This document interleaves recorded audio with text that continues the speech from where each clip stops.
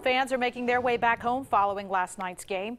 Include, and uh, CBS 42 News reporter Alex Finney caught up with some as they arrived at Birmingham Shuttlesworth Airport this morning. And Alex, we understand there's a canceled flight now. Yes, Jamie, I want to get right to that before we get to all of the fans. For people that are just waking up with us, I want to draw your attention to the Flight Information Board. We know that there's a canceled flight, the one that was supposed to get in at 1045 this morning, and also a flight that was expected to land at 845 this morning will now be arriving early. So family and friends that are expected to pick people up from Birmingham Shuttlesworth International Airport today, just keep that in mind. Now going to the fans. We caught up with a lot of Alabama fans this morning at about 4 o'clock as they were making their way down the escalator.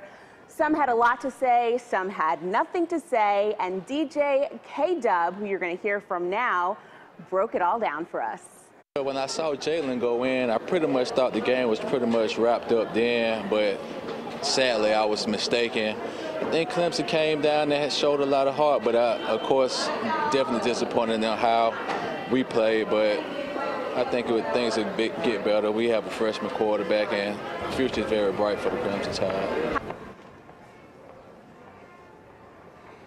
And he said it perfectly. That was the mood. People, of course, were down, that's for sure. Carrie and I here, we saw a lot of sad faces coming down the escalator this morning, but everyone knows Alabama's record. They're a great team, and it was definitely a very exciting game. We have a whole lot more reaction coming up at 6.30, so don't touch that dial. And also, we ran into some Clemson fans as well who were pretty excited about last night's victory. For now, we're live at Birmingham Shuttlesworth International Airport. Alex Finney, CBS 42 News.